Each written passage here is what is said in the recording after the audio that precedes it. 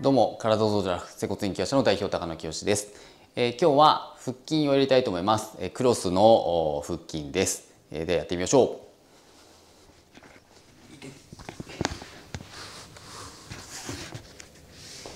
う。はい、やりますね。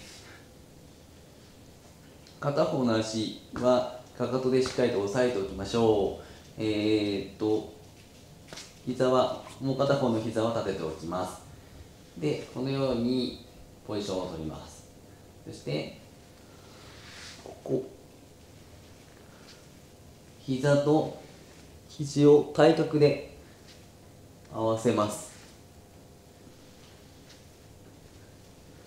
できるだけ合わさるところはへその上です。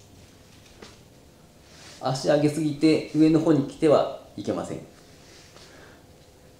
手上げすぎてここでやるとかでもありません。ここのへその上でクロスして合わさるようなイメージでやってみましょ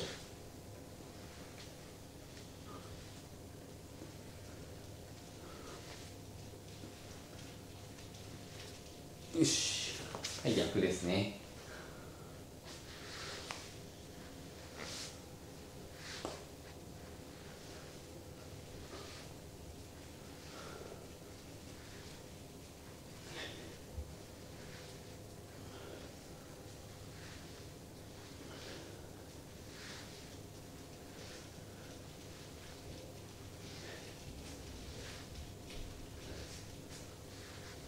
いやよし。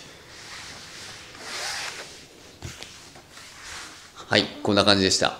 クロスでやるんで、えー、腹横筋、えー、腹横筋で腹斜筋ですね。腹斜筋系。そして、えー、前斜系を鍛えることになります、えー、頑張ってやってみてください。回数はできる人はどんどん増やしていけばいいと思います。それではお願いします。